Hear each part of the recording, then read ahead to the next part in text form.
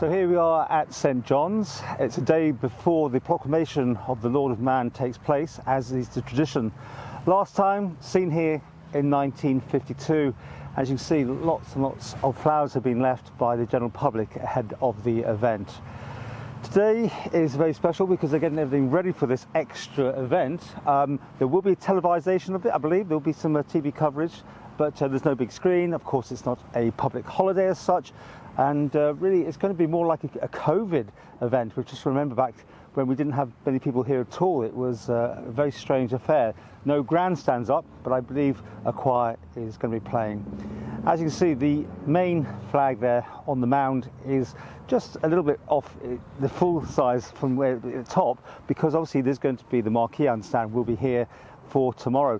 Uh, and then there's a bit of dilemma talking to people behind the scenes who uh, obviously were still kind of figuring out because the proclamation should see the flags go fully up and then come back down again in mourning for the Queen ahead of events on Monday. But uh, at the moment, no other flags have been put up here. Um, the public are invited to attend tomorrow and uh, lay some more flowers on this area. It's good to see while we're talking here to see some of the messages that have been left by people. Um, it, it's just been amazing outpouring of love, of course, for the Lord of Mann. And uh, now Charles will be taking over. Uh, there's obviously great expectations that uh, it's hoped that he'll be here to actually perform the funeral ceremony uh, on the 5th of July in not too distant future when he obviously can be welcomed by people in the Isle of Man. Weather for Saturday, for Friday, sorry, is actually looking okay. Um, it looks like it's going to be fairly sunny, but some strong winds around, which is never good when you've got the marquee there. But um, all the dignitaries will be there as usual.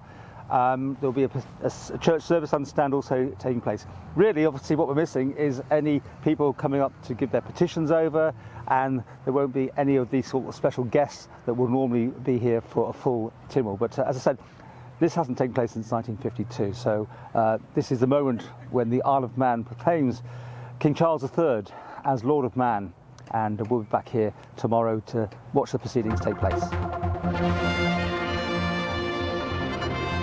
Thank you.